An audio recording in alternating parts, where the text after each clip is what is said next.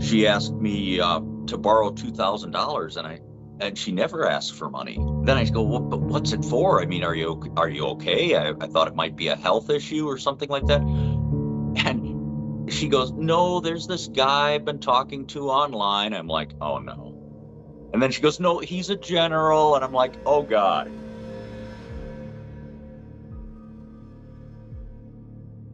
What's up, Seekers? Welcome back to another episode of Scamfish presented by SocialCatfish.com. The reason why we really wanted to sit down and talk to you is because we were worried about you. Your son doesn't trust that you believe that this guy is truly a fraudster.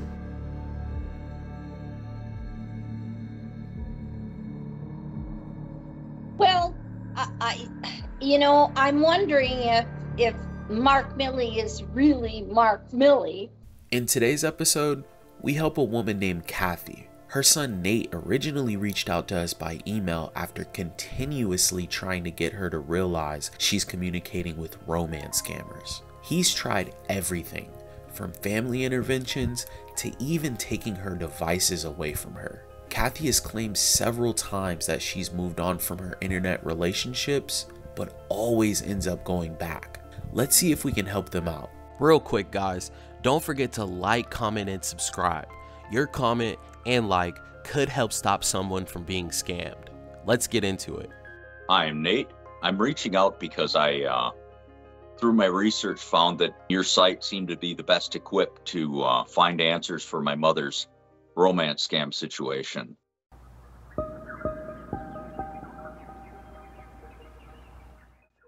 She asked me uh, to borrow two thousand dollars, and I and she never asked for money. At first, I said, "Yeah, sure," but then I uh, then I go, well, "But what's it for? I mean, are you are you okay?" I, I thought it might be a health issue or something like that, and she goes, "No, there's this guy I've been talking to online." I'm like, "Oh no," and then she goes, "No, he's a general," and I'm like, "Oh God." This has been going on um, since about this time last year. She sent money to fake Elon Musk, uh, which makes zero sense to me. $150 in gift cards for his kids, apparently, because they really needed them. I would say September, she started to talk to Mark Milley. Mark Milley got somewhere around $8,000. She's taken out a lot of lines of credit to send them money. So she's having to pay back I think it's fourteen hundred dollars a month for uh, um, the next year and a half. I noticed on one of the emails that she'd sold whatever jewelry of hers that she could. Although I do get upset sometimes, uh, especially when she's lying. We took her devices away for a week, just to uh, um, maybe uh, hopefully just reset her a little bit. And she didn't like that at all. We had found that she was logging in through using other devices. We took her tablet away first, and then she figured out how to talk to him th- through other devices. And uh, she said, Well, he's supposed to call me at the end of the week. So if he doesn't call me at the end of the week, I've drawn a line in the sand. That's it. That's it. I'm not going to talk to him anymore if it's not him. I said, Well, what if he doesn't call? Is that also going to be a, you know, a deal breaker? Yes, it is. I said, Well, mom, first of all, he's not going to call. I don't think isolating her and uh, not using resources and finding resources such as yourself to get her help. Um, I, I, didn't think that was the answer, um, or at least not without trying. Well, seekers, we had our work cut out for us. Nate was obviously fed up with his mom telling him that she was going to cut things off, but she seemed to always give in to sending more money. After getting this email from Nate, we had him set up a call for us to sit down and speak to Kathy, face to face. We wanted to understand where she was at with Mark Milley. I'm glad to be speaking with you and and wanting to get this result. We're gonna definitely try to dig in for you, find some answers and some closure. Uh, it's great to have a son like Nate, right? He's he's great. he's a lot better on the you know phones and computers than I am. So what was your past relationships like before you met this man? I was married to Nate's father for 13 years and we divorced and then I remarried for 23 years. So now, by my choice, I'm divorced. So uh, I've been uh, single now or divorced for 15 years. Tell me about the first time he reached out to you. He wanted to have, you know, a relationship. He was apparently divorced and looking for a relationship. He would email me every morning, sending me pictures of flowers and wonderful messages, and it, it's kind of personal. It's it's like it was romance kind of things, and you know, we would talk about my family and his family.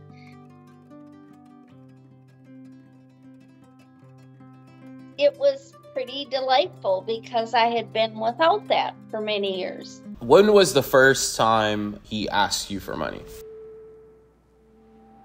He apparently was initially first in Syria at a post.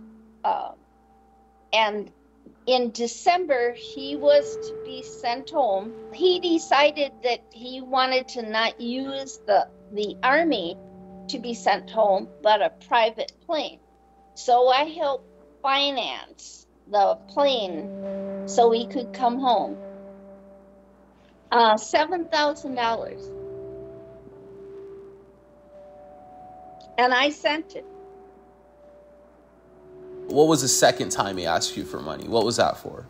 Well, they stopped over in Iraq and then needed more money to get out of there to get back home.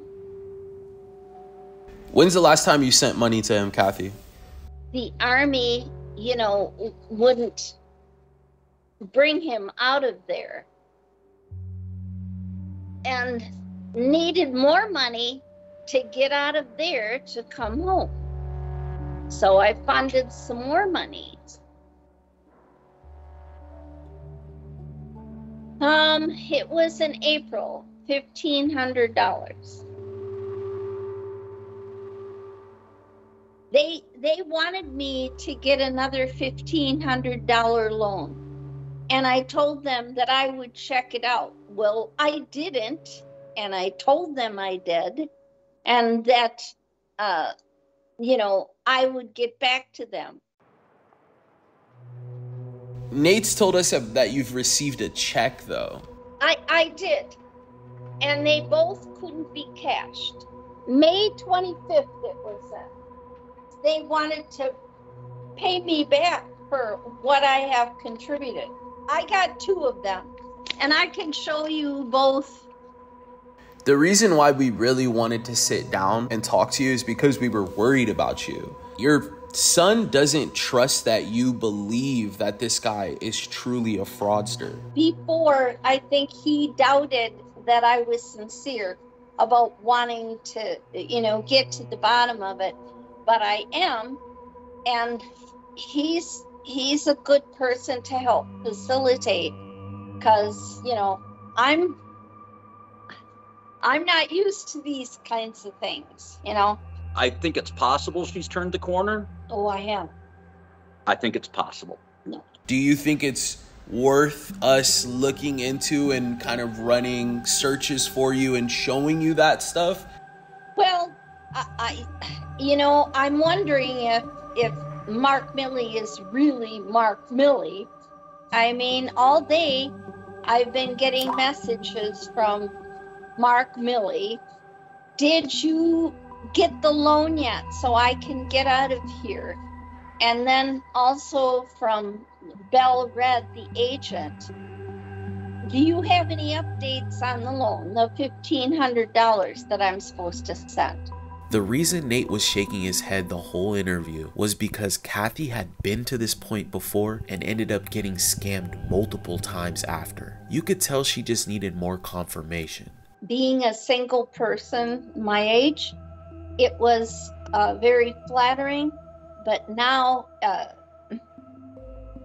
now I'm feeling the pains.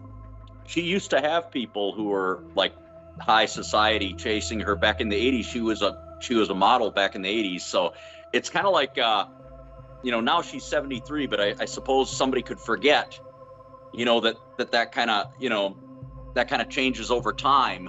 You know, some people would say, well, why why would you think that the general would go after you? Well, I, I mean, that what might have been true in the 80s, you know?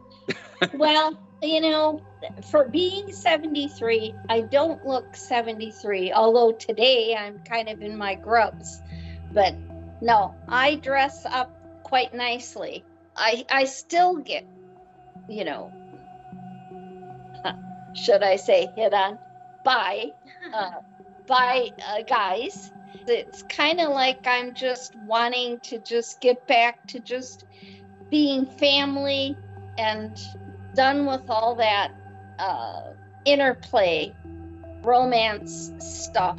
We're gonna look into this for you, Kathy. Nate, we really appreciate you reaching out to us. We'll make this happen. We'll get you guys some answers. Okay, thanks. All right. See you. Bye. Bye. The next day, our team sat down to go over all of Kathy's information. We were determined to get her to realize that this guy was a fraud. We are missing a few members from our team this week. David and Brienne had been traveling for vacation, but don't worry, they'll be back for next week's video. So we just met with Nate and Kathy. Um, they shared their story. What can we do to prove to her that this is a romance scam? Brie and I can sit down and do some research to see if the timelines match up and if there's any few points to disprove his stories that might do the trick. The problem that I'm having right now is that Kathy actually has yet to send any additional information. Um, and I spoke with Nate, and he said that she might, she may be keeping information from us to protect them. If she were really um, absolutely convinced that they were scammers, I mean, she she wouldn't think of them that way. Right, which is really confusing to us because we assumed she was aware this is a scam. I will say that it is possible she was uh, deliberately withholding information, um, either to, you know, make herself look better or uh, to protect the scammers. I don't really know. I think it's really hard to tell which one of those, if at all, it would be. So, good news is that we actually do have some items. We have some photos, a check, and we also have his email address. What do you know about this person in the images? I see his images a lot in romance scams. The next day, Virginia and Bree got straight to work. They dug into everything Kathy sent us. So Nate reached out to us on behalf of his mom, Kathy. Mm-hmm. She's been scammed multiple times before, and now she thinks she's talking to General Mark Milley. Oh, clearly it's not the real Mark Milley, but let's try to find something to prove that he's not real. Yeah, let's do it. Just looking at the information that Kathy sent over, there's quite a bit of things that we can disprove. Mm-hmm. Like uh, the email address that he's using to contact her, it's not a government email address. So the Gmail email address he was using is mm-hmm. definitely not real. Military general wouldn't use a Gmail account. Right. Yeah. Guess what I found? I found an article that shows that he's not in Syria right now. Oh, really? Yeah. Okay, let me see. Well, we felt we had everything we needed to get Kathy to come to terms. A week later, we set up a call with Kathy to go over everything that we found about this Mark Milley profile. Stick around until the end. We'll give Kathy the truth. The new one or the old one? This one's the Mark Milley at gmail.com. Oh, well, that that's a new one. And we'll team up with Nate to hopefully break through to her. I asked him and he said he's real. That's my mom impression. If you've made it this far, don't forget to like, comment, and subscribe, guys. We appreciate you so much. Hi there. Hey, Kathy. Hey, how are you? I'm good. How are you? Well, I'm pretty good. Just a little tired. I, I've been working for the last few days, so um, and I'm not used to it. I'm retired, but but I'm I'm doing fine.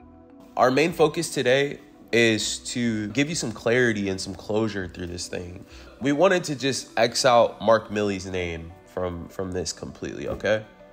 Okay. When we last spoke, you said you were confused on if you were truly speaking to Mark Milley. What are some reasons that lead you to believe that this truly is him? He sent like his driver's license, you know, he would like send pictures of himself in his uniform, which he hasn't been in for a long time. We just want to give you clarity and hopefully just put the nail in the coffin on this whole thing so you can move forward with your life. That that sounds wonderful. I'm I'm ready to to have your assistance. Okay. The first thing that we wanted to go over was the email. Yeah, so we use an email verification tool to determine if an email's been used quite often, if it's been flagged for fraud. Um, and we did find out that this email address that he was communicating with you received a fraud score of 80. Most military contacts use the same format across the board. All military personnel must use a specific military format when communicating through email. And this is what that format looks like. There is three variations of the .mil format for a military email. Most of the time, if a contact is using a Gmail account, it's because Gmail accounts are free. You can sign up using those with no information, um, and anyone can access them. Okay.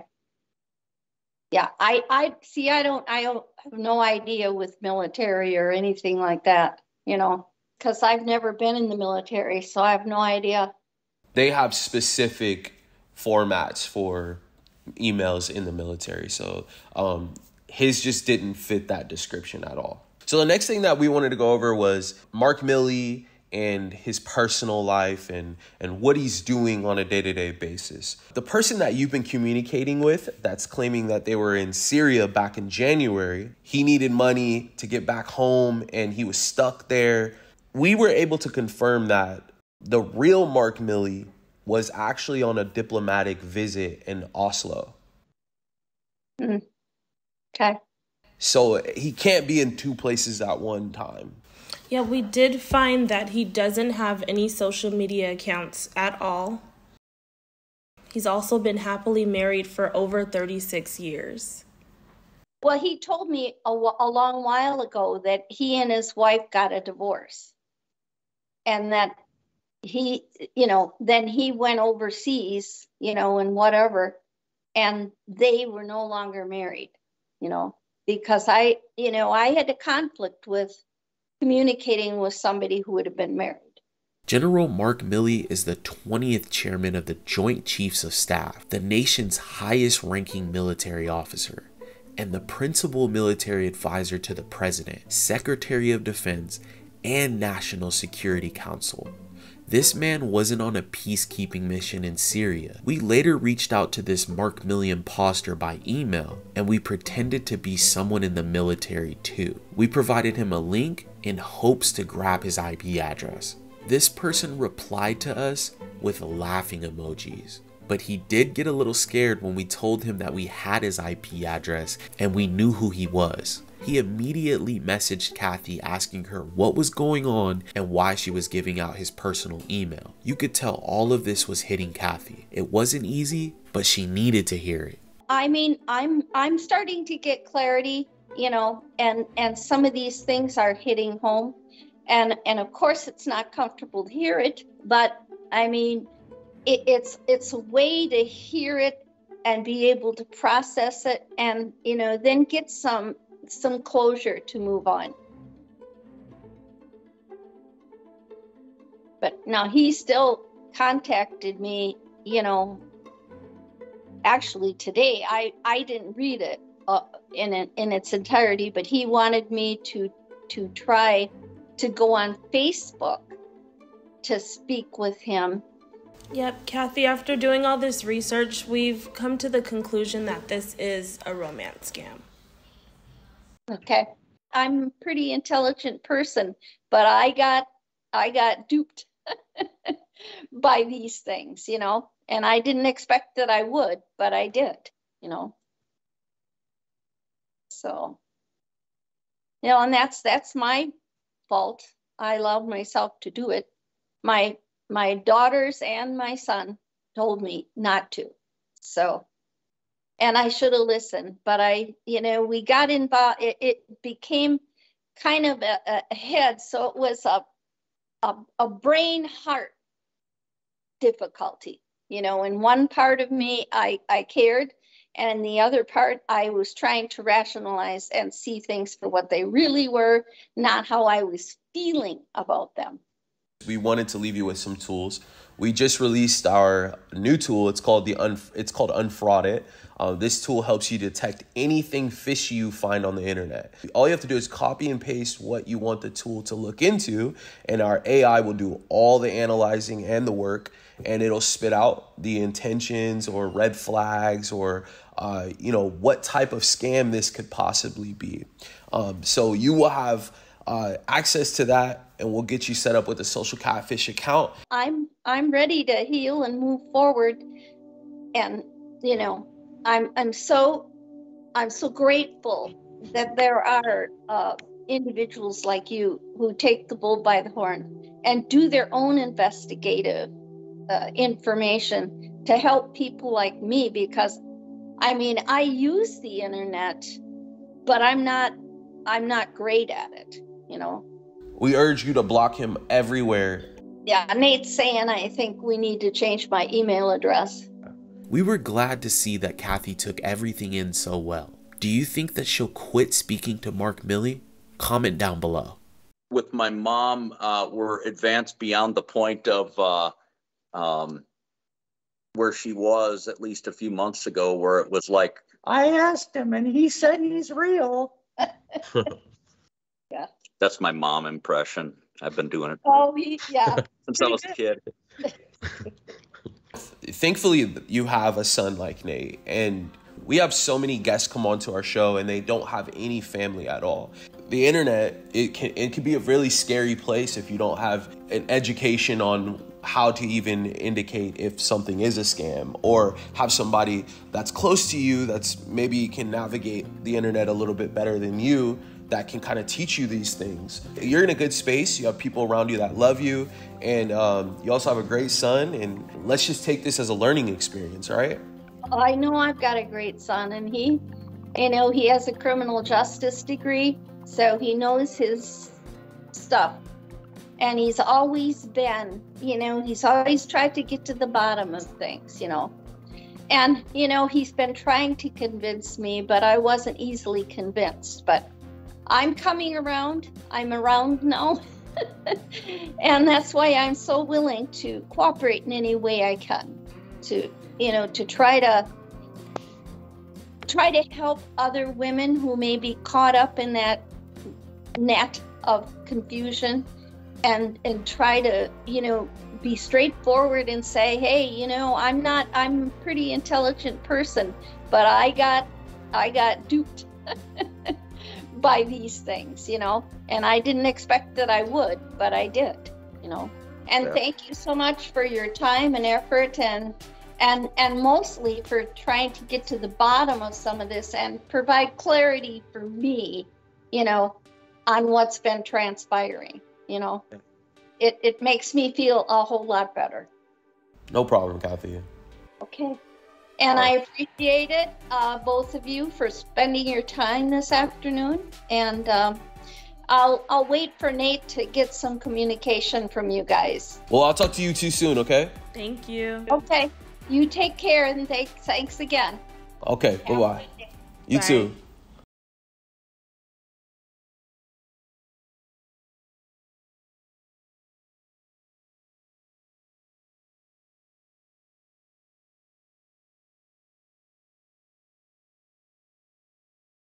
Thank you everyone for tuning in. Remember, all of our new videos go out every Wednesday, so please don't forget to like, comment, and subscribe.